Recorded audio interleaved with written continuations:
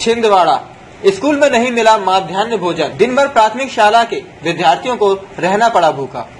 यह खबर लकडाही जमहोडी गाँव पर स्थित एक शासकीय प्राथमिक शाला की है।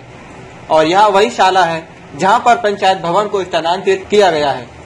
और इसी विद्यालय में रसोई घर में ताला लटका मिला, जिसके कारण दिन भर विद्यार्थियों को भूखा रहना पड़ा। जब विद्यालय में पदस्थ शिक्षक से माध्यान्ह भोजन न मिलने का कारण पूछा तो उन्होंने बताया कि रसोई घर में जो महिलाएँ भोजन बनाती हैं, वह किसी कार्य के सिलसिले में बाहर गई हुई हैं, जिसका हमने उनसे वैकल्पिक रूप से एक अन्य महिला को माध्यान्ह भोजन तैयार करके देने को कहा, और उन्होंने इस बात को लेकर हामी भर दी। परंतु ऐसा नहीं हो सका, और विद्यार्थी को दिन भर भूखा रहना पड़ा। इस घटना को देखते हुए यह कहा जा सकता है कि यह माध्यान्ह भोजन का नाटक इस प्रकार शायद और कभी भी होता होगा, जिसको देखते हुए प्रशासन क्या ठोस कदम उठाता है या नहीं। छिंदवाड़ा से संवाददाता अंशुल सराठे की रिपोर्ट।